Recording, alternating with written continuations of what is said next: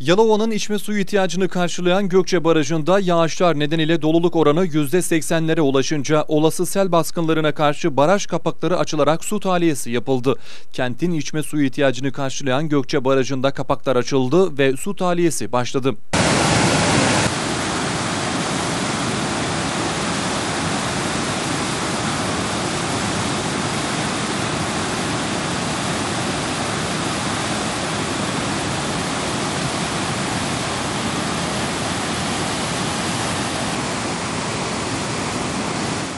Barajdan saniyede 1500 litre suyun tahliye edildiğini belirten Yeşilkörve Su Birliği Başkanı Ömer Nergiz, konuyla ilgili gazetecilere yaptığı açıklamada son dönemlerdeki yağışlar nedeniyle barajda tahmin edilenin de üzerinde yoğun su olduğunu söyledi. Nergiz bu nedenle de kapakların açıldığını belirtti.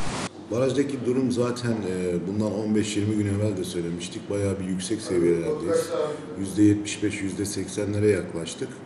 O yüzden sel tehlikesine karşılık tahliye yapmaktayız. Bir aydır tahliye yapıyorduk.